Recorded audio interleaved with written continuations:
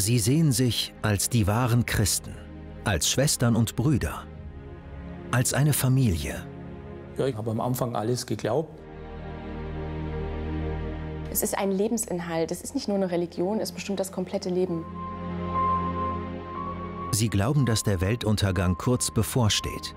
Ich habe wirklich an Dämonen geglaubt, ich habe an Satan geglaubt. Die existieren bei den Zeugen Jehovas tatsächlich, die sind real.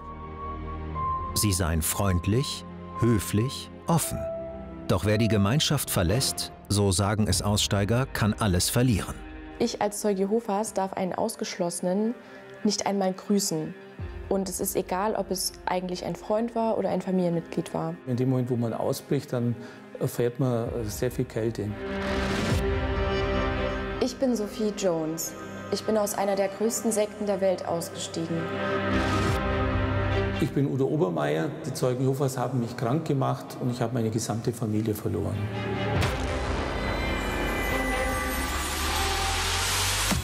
Die Wahl zur Miss Germany 2021 Ende Februar.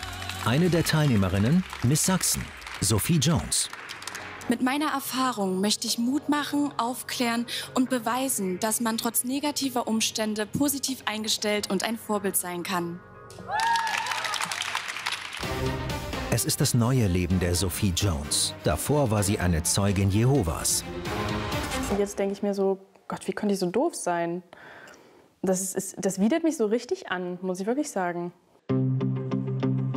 Vor zwei Wochen treffen wir Sophie Jones in Leipzig sprechen mit ihr über ihr altes Leben. Ihr Leben als Zeugin Jehovas. Wie viele andere auch wird sie in die Gemeinschaft hineingeboren. Ihre Mutter und ihr Vater sind Zeugen Jehovas. Ich habe mich eigentlich immer gefühlt wie so ein Freak. Ich habe kein Weihnachten gefeiert, ich habe keinen Geburtstag gefeiert, ich habe Silvester keine Böller gezündet. Also ich hätte mich selber als Kind, wenn ich mich in der Klasse gehabt hätte, ich hätte gedacht, was ist das für eine Verrückte. Weltweit gibt es ca. 8,5 Millionen Zeugen. Sie sind Christen, nennen Gott Jehova. Sie glauben, dass der Weltuntergang bevorsteht, den nur überlebt, wer Zeuge Jehovas ist. Sie lehnen Bluttransfusionen ab, feiern weder Ostern noch Weihnachten noch Geburtstage. Wer gegen Glaubensgrundsätze verstößt, wird oft ausgeschlossen. Wir stehen zu mehr als einem Dutzend ehemaligen Zeugen in Kontakt. Sie wurden ausgeschlossen oder haben die Zeugen Jehovas verlassen. Ich brach die Regel, keinen Sex vor der Ehe haben zu dürfen und wurde dann im Zuge dessen ausgeschlossen. Ich wurde im Jahr 1991 ausgeschlossen, weil ich eine neue Frau, meine jetzige Ehefrau, kennengelernt habe. Ich bin ausgestiegen, weil ich müde war von diesen ganzen Regeln und Vorschriften, die zum Teil bis in den intimsten Bereich des Lebens eingegriffen haben. Ich war damals 18 Jahre alt, hatte mich verliebt in einen andersgläubigen. Ich habe mich in eine Frau verliebt, was für eine Zeugin Jehovas natürlich absolut nicht geht. Auch Sophie Jones empfindet den Glauben der Zeugen als immer strenger, je älter sie wird. Besonders nachdem sich ihr Vater von ihrer Mutter scheiden lässt und ausgeschlossen wird. Sie bleibt bei der Mutter. Nach der Trennung ist dann meine Mutter viel mehr im Glauben aufgegangen und hat ja, sich sogar ein bisschen fanatisch entwickelt. Sophie darf zum Beispiel nicht mehr fernsehen, weil das Jehova nicht gefalle. Sie hat dann den Stecker des Fernsehers quasi in eine kleine Box eingeschlossen, damit ich ihn nicht mehr in die Steckdose stecken konnte. Und eines Tages bin ich von der Schule nach Hause gekommen und da war meine Zimmertür weg, weil ich mich wohl damals immer mal eingeschlossen habe, weil ich meine Ruhe haben wollte und ähm, das fand sie nicht toll. Und auch ihren Geburtstag feiert Sophie nicht. Als Kind wusste ich meinen Geburtstag gar nicht. Also auch in der, ich weiß es noch, da musste ich mal in der Grundschule irgendwas ausfüllen und dann habe ich erst mal überlegt, wann mein Geburtstag ist. Dies ist ein Video der Zeugen Jehovas, das sich an Kinder richtet. Es erklärt, warum Zeugen keine Geburtstage feiern. Was sagt denn die Bibel über Geburtstage? Sie sagt etwas darüber, aber nichts Gutes. Sie berichtet von Pharao in Ägypten und von Herodes zur Zeit von Jesus. Das waren zwei stolze Herrscher. Beide haben auf ihren Geburtstagsfeiern Menschen umgebracht.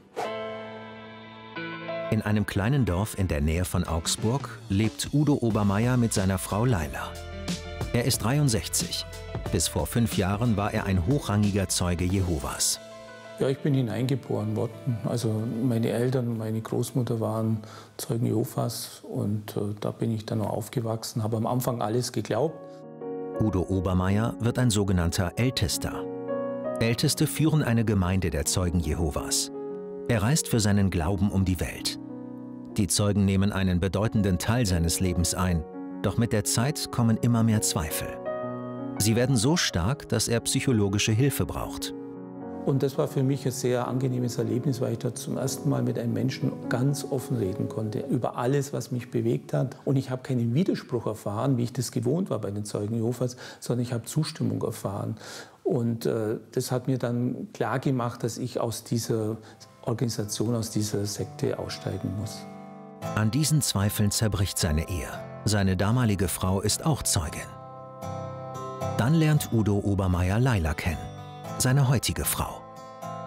Dann hat er gesagt, er muss mir jetzt was sagen. Er ist bei den Zeugen Jehovas und ähm, er ist im Begriff, da auszusteigen. Ich habe mir gedacht, mein Gott, dann geht man halt einfach raus. Ich meine, was ist jetzt da so ein großes Problem? Das Problem ist, wer von den Zeugen ausgeschlossen wird oder diese freiwillig verlässt, wird oft geächtet und verliert jeden Kontakt zur Familie, zu Freunden. Ich habe vier Kinder und aktuell sechs Enkelkinder. Ich weiß es nicht genau, vielleicht sind es auch sieben. Ja. Äh, habe da keine Information jetzt drüber. Aber äh, ab diesem Zeitpunkt äh, war Kontaktabbruch. Seitdem habe ich äh, mit, mit keine Kinder mehr Kontakt gehabt. Ja. Anderen ehemaligen Zeuginnen und Zeugen ist das ebenfalls passiert. Mein Vater, meine, meine Stiefmutter, Tanten, Onkels, Cousins, Cousinen und auch gute Freunde ähm, haben den Kontakt zu mir komplett abgebrochen. Den Kontakt abgebrochen? Den Kontakt zu mir abgebrochen. Sie grüßten mich nicht mehr. Sie löschten mich in allen sozialen Netzwerken. Meine Tochter ist jetzt eineinhalb Jahre alt und mein Bruder hat sie noch nie gesehen. Und somit hatte ich alles in meinem Leben verloren. Im Endeffekt ist es wie eine Art Tod, obwohl alle Beteiligten noch am Leben sind. Ich habe an einige wichtige, für mich wichtige Menschen einen Brief geschrieben vor allen Dingen auch an meine Geschwister. Ihnen nochmal zu sagen, wie lieb ich sie habe und dass ich nach wie vor ihre Schwester bin, auch wenn ich nicht mehr ihre Glaubensschwester bin. Ich würde mir einfach äh, wünschen, wieder ein, ein, Teil meiner Familie zu sein, ähm, weil ich die einfach sehr liebe und ähm, die mir alles bedeuten und ja. Meine Mutter hat nicht gleich den Kontakt abgebrochen. Das war eher ein schleichender Prozess über einige Jahre, wobei sie nun äh, seit 15 Jahren nichts mehr hat von sich hören lassen und ich weiß auch nicht, ob sie noch lebt. Auch Sophie Jones Vater wurde ausgeschlossen, nachdem er sich von ihrer Mutter scheiden ließ. Aber Sophie hat weiter Kontakt, bis sie sich mit 17 taufen lässt. Die Taufe ist der wichtigste Tag im Leben eines jeden Zeugen.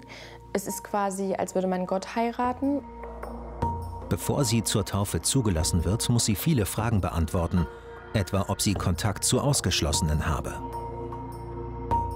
Und natürlich wussten die Ältesten meiner Versammlung, dass ich Kontakt zu meinem Vater habe und haben mich dann auch direkt darauf angesprochen und gesagt, du darfst dich nur taufen lassen, wenn du den Kontakt zu deinem Vater abbrichst.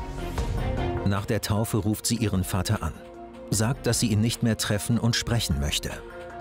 Das war richtig schlimm, ich habe auch so viel geheult. Aber so war nun mal der vermeintlich richtige Weg. Als sogenannter Ältester bei den Zeugen Jehovas wusste Udo Obermeier, was sein Austritt für Folgen haben kann. Darauf vorbereitet war er nicht. Ich kann mich erinnern, da bin ich auf einer Parkbank gesessen und da ist mir klar geworden, jetzt bricht mein Leben zusammen. Da war ich also fast 60, 58 oder so. Und dann habe ich, hab ich das gespürt, alles bricht ein, alles bricht zusammen. Ja. Für mich waren die Zeugen Jehovas immer eine harmlose Organisation. Und es hat mich wirklich wahnsinnig erschreckt, wie gefährlich, was für eine gefährliche Sekte sich dahinter versteckt. Wir fragen die Organisation der Zeugen Jehovas Deutschland wollen unter anderem wissen, inwiefern so ein Kontaktabbruch üblich sei. Man schickt uns mehrere Links auf die Internetseite der Zeugen.